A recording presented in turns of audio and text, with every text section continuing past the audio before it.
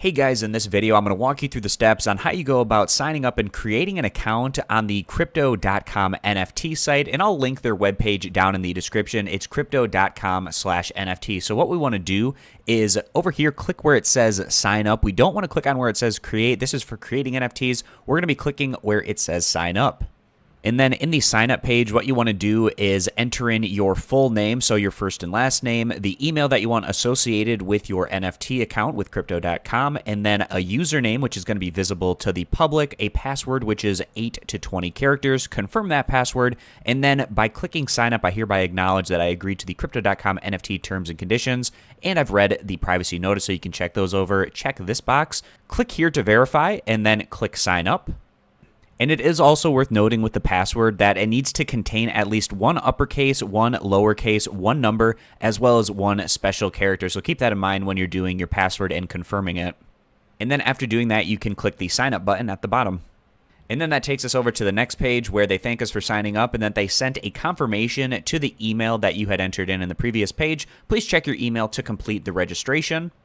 And for me, this confirmation email actually showed up in my clutter folder. So if you're having a hard time finding it, check your junk mail, your clutter folder, things such as that. And then you might be able to find your crypto.com NFT confirmation email in one of those other inboxes if it doesn't show up in your main inbox. So once you get this, you can click where it says verify email. And it says registration successful. Your account has been successfully verified. Please try to log in again. So then click sign in. Enter your email as well as password. Click verify and then click sign in.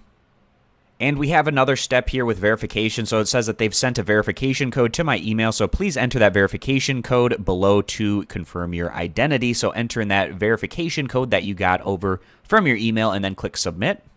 So I copied and pasted that code in here and then I'm going to click submit.